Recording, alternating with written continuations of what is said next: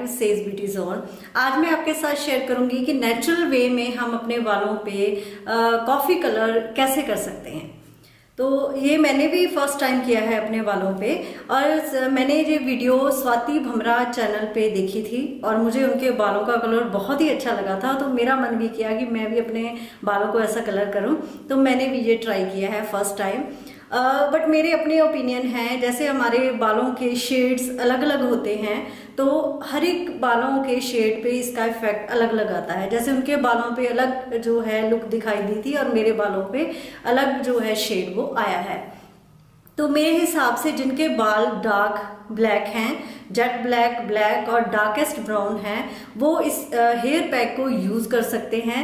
लेकिन मेरे हिसाब से ये मेरा ओपिनियन है कि जिनके बाल ब्राउन या लाइट ब्राउन है, वो इसको ना ही यूज़ करें तो बेहतर है, क्योंकि वो आई थिंक उनके बालों का कलर वो ख़राब हो सकता है। एक और बात कि मेरा मानना है कि एक बार इस हेयर पैक को यूज़ करने के बाद छह सात महीने का गैप ले लेना चाहिए। इसको हर मंथ नहीं यूज़ करना चाहिए। उससे जो है आपके बालों का, अगर आप रेगुलर यूज़ करेंगे तो आपके बालों पे ऑरेंज टिंट जो है आ सकती है।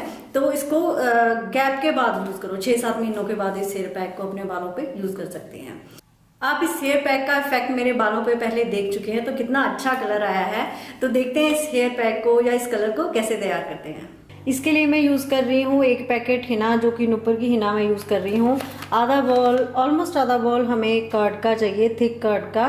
और चाहिए आधा ग्लास चाय पत्ती का पानी। मैंने एक ग्लास पानी में तीन चम्मच चाय पत्ती के डाल के अच्छी तरह बॉईल कर लिया। आधा होने तक अब मेरे पास है आधा ग्लास चाय पत्ती का पानी, जो कि गर्म होना चाहिए, क्योंकि गर्म से हम मेहंदी मिक्स करेंगे तो लम्ब्स नहीं पड़ेंगे मेहंदी में। और हमें चाहिए दो चम्मच कॉफ़ी जो कि मैं नेस्केफ़े की यूज़ कर रही हूँ। और हमें मेहंदी को मिक्स करने के लिए चाहिए लोहे का बर्तन, जो कि आपने अपने आंटी से, नानी से, दादी से सुना होगा कि हमेशा लोहे का बर्तन ही यूज़ करो, हिना को मिक्स करने के लिए। तो मेहंदी का रंग बहुत अच्छा आता है।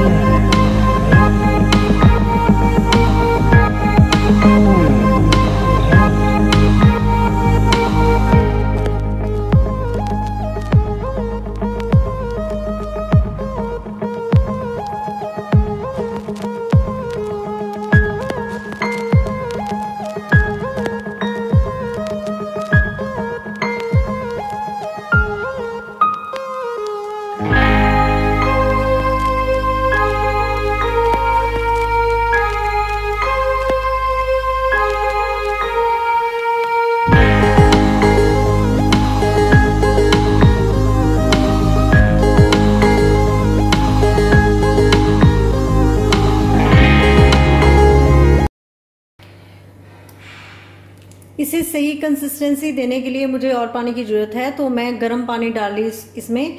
जो पत्ती बची थी, उसी में और पानी जो है डाल के बॉईल करके अच्छी तरह वो पानी मैं इसमें यूज़ करूँगी अब।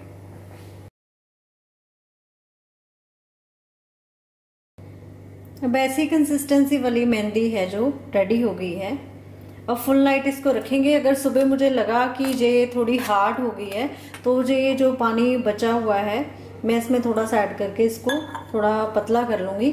बट इस टाइम इसकी कंसिस्टेंसी बिल्कुल सही है। अब फुल नाइट इसको ऐसे ही पड़े रहने देना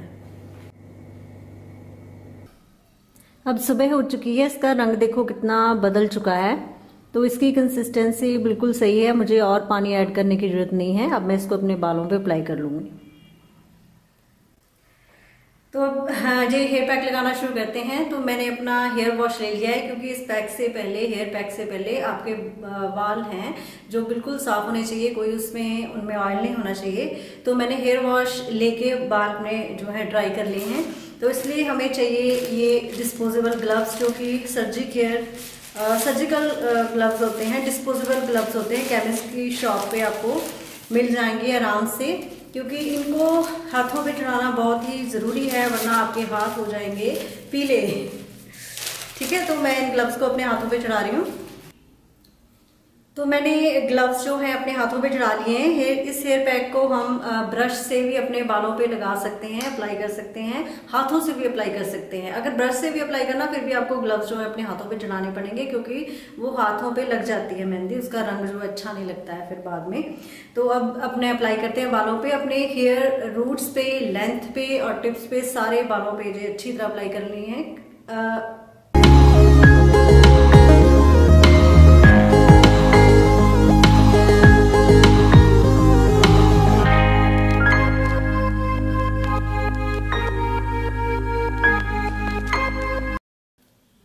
सारे रूट्स में मैंने ब्रश से जो है, ये हेयर पैक लगा लिया है।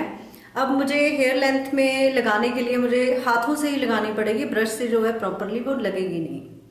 तो मैंने सारा हेयर मास्क जो है अप्लाई कर लिया है।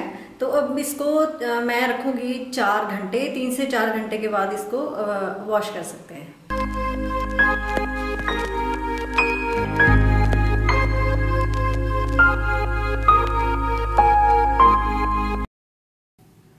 हेयर पैक को वॉश करने के बाद आपको शैम्पू नहीं यूज़ करना है आप कंडीशनर यूज़ कर सकते हैं।